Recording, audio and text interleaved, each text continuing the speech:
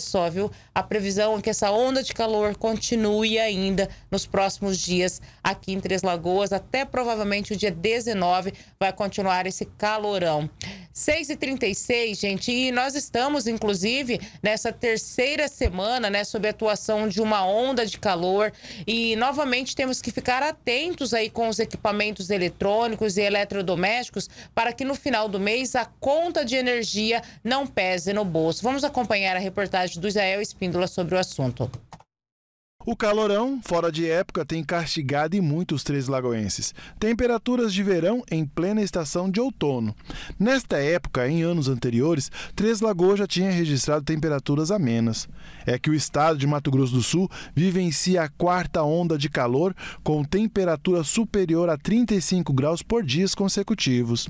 De acordo com o mapa meteorológico emitido pelo Centro de Monitoramento do Tempo e do Clima, Três Lagoas deve registrar picos picos de calor nos próximos dias. Este cenário se deve ao sistema de alta pressão, onde frentes frias seguem sem conseguir avançar para o continente por causa justamente deste bloqueio atmosférico, o que impede a formação de nuvens e pancadas de chuva, como explica a meteorologista Valesca Fernandes, do Centec. Nos próximos dias segue o tempo quente e seco no estado de Mato Grosso do Sul, devido à atuação de uma alta pressão atmosférica que atua como um bloqueio atmosférico, inibindo a formação de nuvens e chuvas de grande escala. São esperadas altas temperaturas, com valores entre 35 a 38 graus, e baixos valores de umidade relativa do ar, entre 25 a 45%. E pode se preparar que esse calorão vai permanecer até o dia 15 de maio, onde os termômetros vão chegar facilmente na casa dos 37 graus. Com os dias mais quentes, além dos cuidados com a saúde, as pessoas devem ficar atentas com a conta de energia elétrica. Isso porque muita gente recorre ao ar condicionado, ventiladores, sem mencionar a geladeira que abre muito mais. Na sorveteria da Verusca Sardinha, um conflito de emoções. Feliz pelo calor que ajuda a vender os sorvetes e picolés, mas em estado de alerta com a conta de energia elétrica.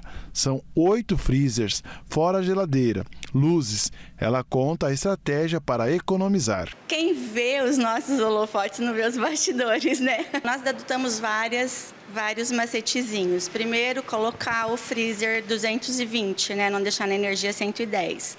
Depois a gente sempre policia Israel a questão tem cliente na loja, mantém luz acesa, não tem, apagam as luzes.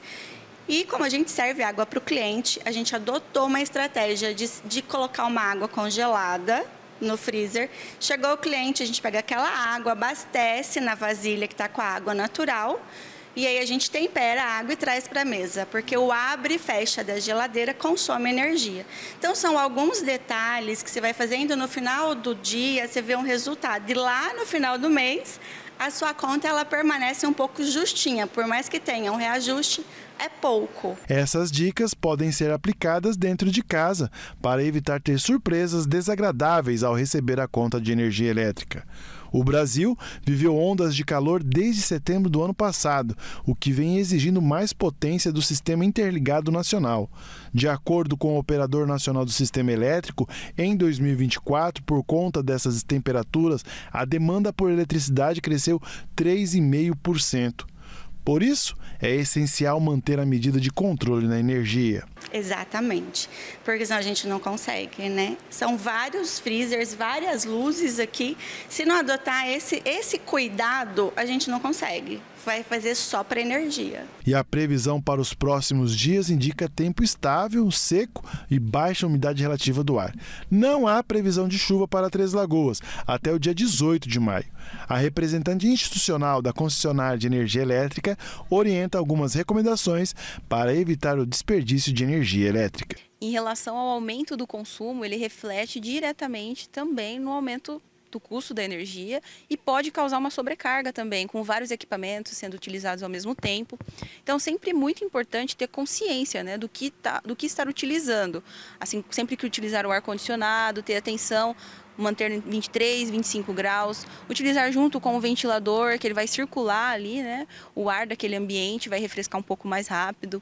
São algumas atenções básicas, mas que faz toda a diferença. Assim como a geladeira. Mantenha uma distância de 10 centímetros né, da parede e evite deixar a parede encostada, a geladeira encostada em uma parede que aquece muito, que tem exposição direta com o sol.